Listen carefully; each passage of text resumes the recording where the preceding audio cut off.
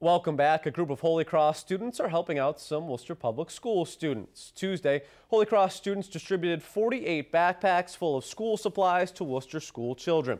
Two juniors at Holy Cross started Engage, Educate, and Empower and raised $1,000 to purchase, pack, and deliver backpacks to students. Holy Cross students handed out the bags at Pernet Family Health Services after school program.